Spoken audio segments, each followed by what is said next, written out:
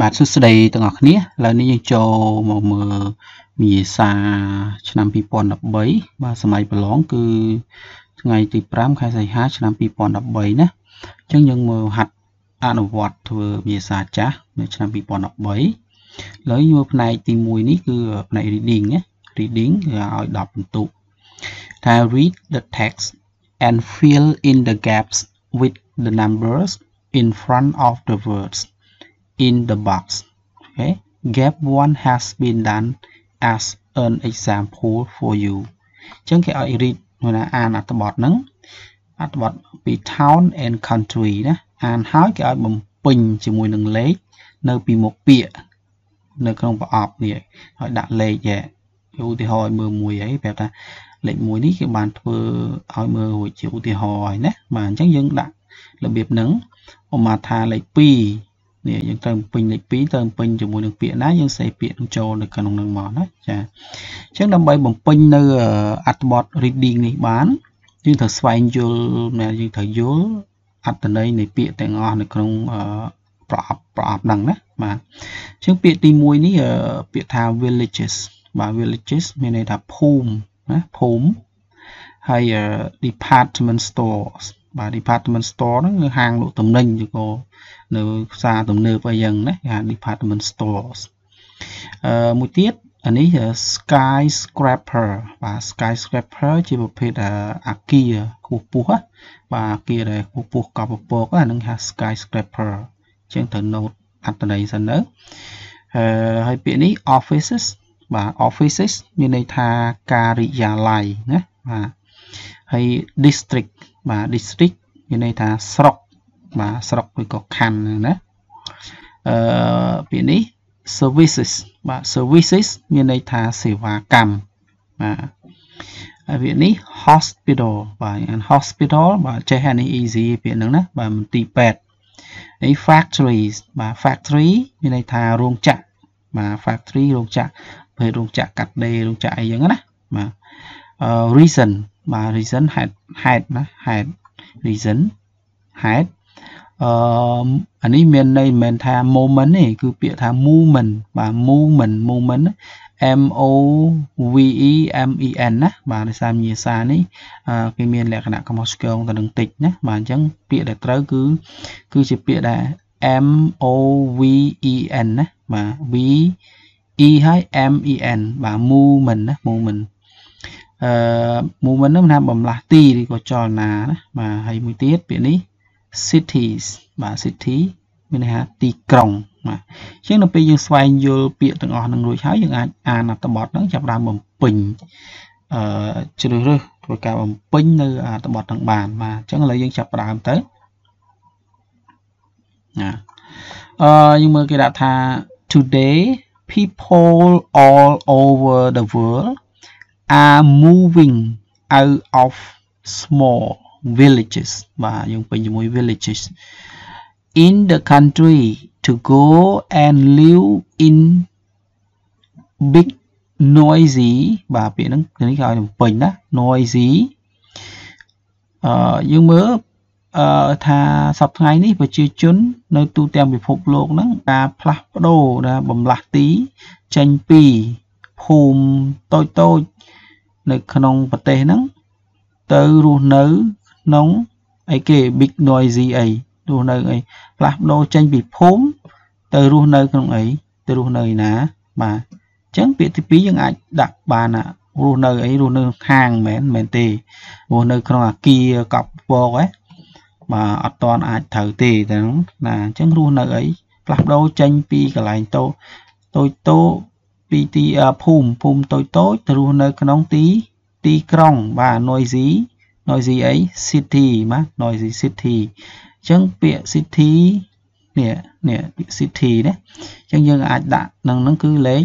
លេខ2បាទយើងសេលេខ2ចូលទៅនឹងមកបាទលេខ2ណាបាទបន្តមកទៀតអឺ they are moving from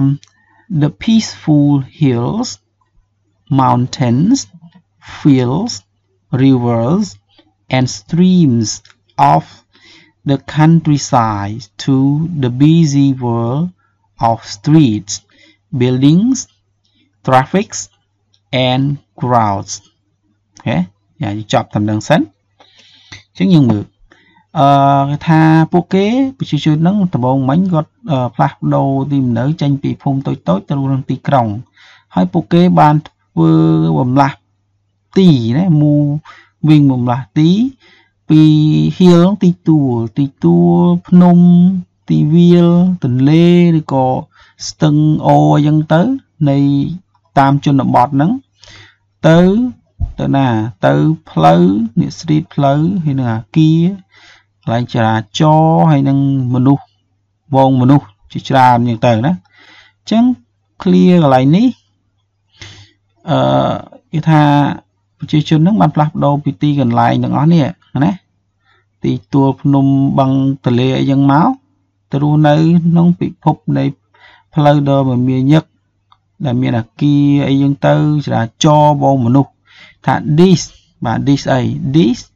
from rural areas to urban areas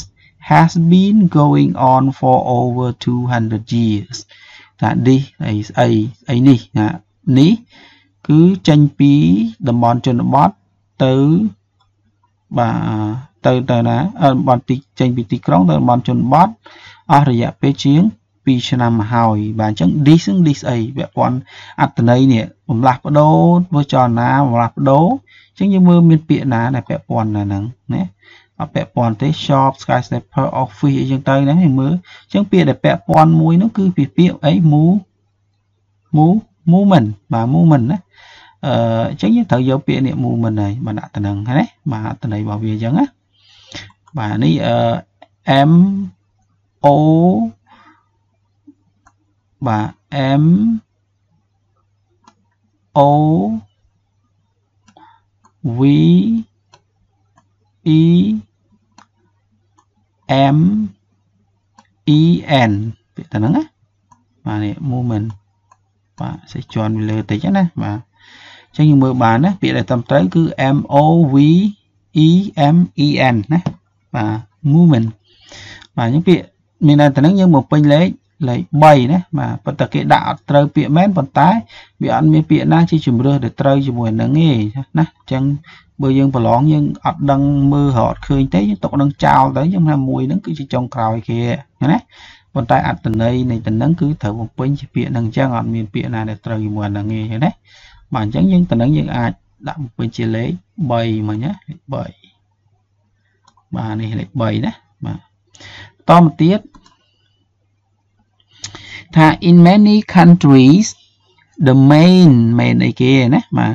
people come to live in towns and city is work ណា after one or more should have been built in or near a town people come to find work and soon the industrial area begins to grow បាទយើងអានអាចអានពីរភ្ជាប់គ្នានេះបើយើងអានមួយអត់យល់អត្ថន័យទេអញ្ចឹងណាបាទមើលអានេះមកកណាត់នេះថានៅប្រទេសជាច្រើន ស្អីសំខាន់ណាមនុស្សអឺទៅរស់នៅក្នុងអឺមន់ជនបទហើយនឹងទីក្រុង គឺអីគឺដើម្បីអីការងារអញ្ចឹងអីគេណា the main main អីទៅរកការងាររកការងារអញ្ចឹងដំបូងអានេះគឺហេតុផលហ្នឹងមិនហ្នឹងហេតុទេអញ្ចឹងអ្វីត្រូវពេញគឺហេតុហេតុពាក្យហេតុមានន័យពាក្យហេតុហ្នឹងអង់គ្លេសមានន័យថាមិញអីគេ នេះនេះ reason ហ៎ reason អញ្ចឹងយើងសេចូលមកបាទលេខ4ណា number 4 4សេចូលលេខអញ្ចឹងចាហើយមិញតបទៀតនេះបន្ទាប់ពីណា after one or more shoot shoot អីគេបាទមួយឬក៏ក៏ពីមួយឬក៏ច្រើននឹងស្អីគេមួយឬក៏ច្រើនសម្បើមណា shoot ហ្នឹងច្រើនសម្បើមអញ្ចឹងណា has been built in or near a town បាទទៅបានកសាងនៅក្នុងអឺជនទីជនបទបាទមនុស្សបានទៅស្វែងរកការងារហើយឆាប់ឆាប់ហ្នឹងអឺតំបន់នៃឧស្សាហកម្មហ្នឹងបានចាប់ផ្ដើមលូតលាស់ឃើញទេបាទអញ្ចឹងទៅនឹងស្អីគេពាក់ព័ន្ធនឹងមនុស្សទៅរកការងារបាទ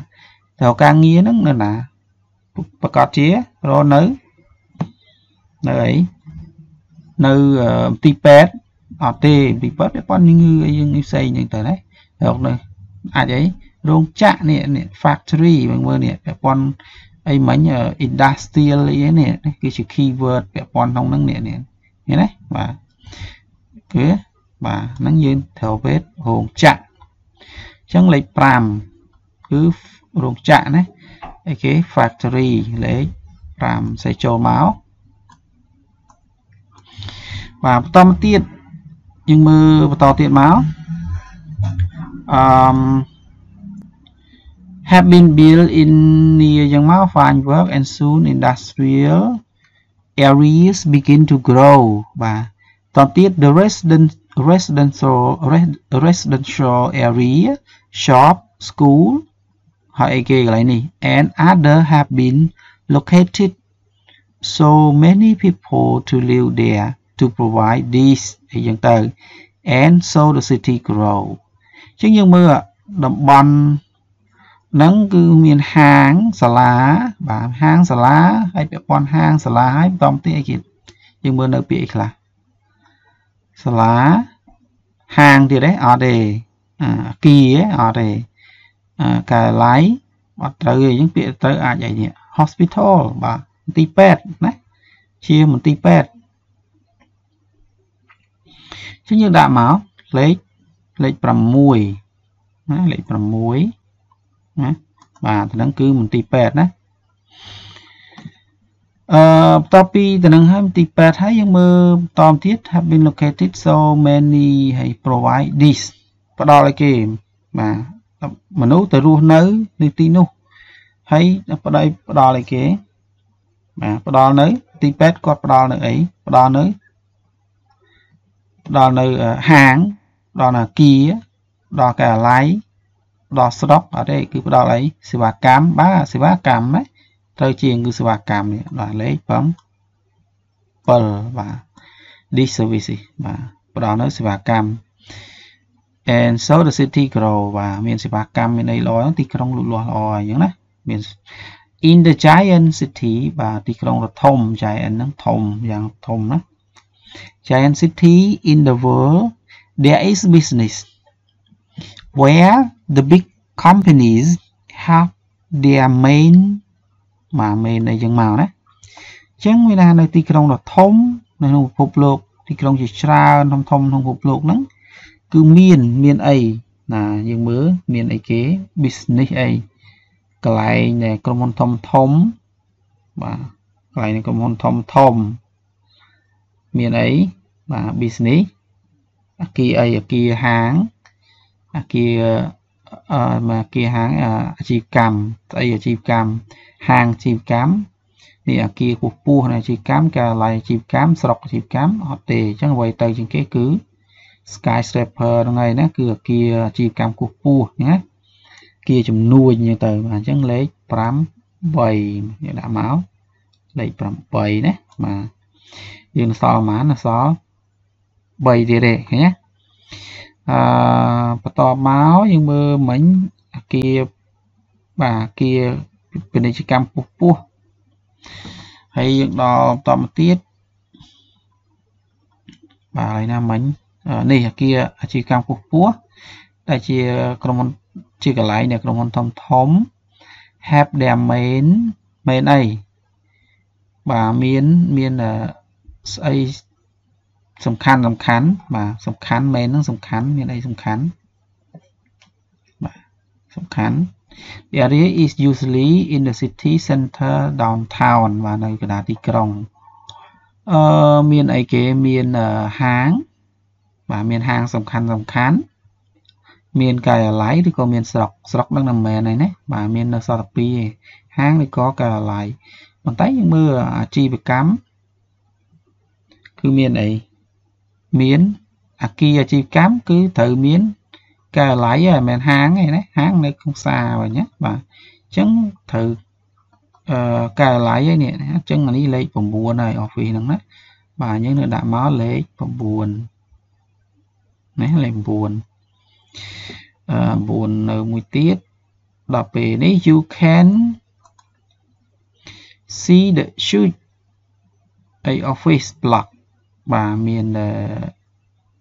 department store ហើយនិង district បាទអានឲ្យចប់ហ្មងមកសល់2ទេ see the shoot office block the people who work there they always move the long way to work each day from the suburb of city because some suburbs are very pleasant with nice houses big gardens parks large បាទ អឺអានេះ large អីបាទនៅសល់2បើយើងដាក់នេះ large department store មានន័យថាហាងទំនិញធំធំហើយនឹងសួនជៀនជាតិសួនច្បារផ្ទះបាទអឺរីករាយមិនអត់ដូចជាអត់ត្រូវទេណាបាទដែលជាកន្លែងដែលពួកគេអាចទិញនៅអ្វីអឺដែលពួកគេត្រូវការបាទ បាទទិញវាប៉ុណ្ណឹងទិញទិញនៅហាងអីយ៉ាងណាបាទ keyword បាទបាទណាវាប៉ុណ្ណឹងទិញទិញនៅហាងហើយឃើញទេបាទនេះនេះមើលទិញនៅណានៅស្រុកបាទអត់ត្រូវទេអញ្ចឹងយើងសល់ពីរពាក្យគឺនេះ department store ហើយនឹង district បាទអញ្ចឹងអាក្រោមនេះប្រកាសជា department store ហើយមិនអញ្ចឹងណាបាទហើយអានេះអឺអាចឃើញនៅអឺ district បាទ district នេះ 10មកនេះ10ហើយណាបាទយើងអានមើលអញ្ចឹងអាដំបូងយើងអានអត់ឃើញដឹងអាចអានឲ្យចប់ទៅយើងឃើញអាផ្សេងនៅសល់មួយទៀតគឺមួយណានេះ11អញ្ចឹងយើងពេញហើយឃើញទេបាទនេះគឺជារបៀបនៃការបំពេញធ្វើនៅលំហាត់ពេលប្រឡងបាក់ដប់ផ្នែក reading យើងមើលអញ្ចឹងណាស្វែងយល់នៅអត្តន័យអញ្ចឹងមក ហើយយើងពេញធ្វើមួយមួយមួយយើងមើលមួយណាសល់តាមហ្នឹងអឺយើងអានម្ដងអីជួនអត់អាចយល់នៃវាទេអញ្ចឹងយើងអាចព្យាយាមធ្វើពីរដងបាទអានទៅដងពីរដងអញ្ចឹងណាបាទអញ្ចឹងយើងអាចនិយាយថាកុំចំណាយពេលយូរពេកតាមពីរដងអីព្យាយាមស្វែងយល់នៅអត្ថន័យហ្នឹងហើយណាអាណាអា ចបានយើងមើលទៅទៀតយើងម្លងទៅហើយសល់ចុងក្រោយមួយណា1 2 3យើងប្រៀបធៀបគ្នាទៀតចឹងទៅណាបាទចានេះយើងអត់បាច់ទៀតព្រោះមានត្រូវពេញហ្មងយើងអានតែប៉ុណ្្នឹងមកយើងយល់ពេញហើយហើយណាបាច់ទៅអានអីនេះអត់មានពេញក្នុងខាត់ពេលវេលាទេបាទអញ្ចឹងគឺជាអឺរបៀបនៃការធ្វើវិញ្ញាសាពេលប្រឡងបាក់ដប់មុខជាភាសាអង់គ្លេសណានេះផ្នែក reading ណាបាទអញ្ចឹងយើងអាចជួបគ្នានៅវីដេអូក្រោយជាមួយនឹងផ្នែក ទី2និងទី3ទី4បន្តទៀតចាបាទអញ្ចឹងខ្ញុំបញ្ចប់វីដេអូនេះបាននឹងសិនជួបគ្នានៅវីដេអូក្រោយបាទអរគុណ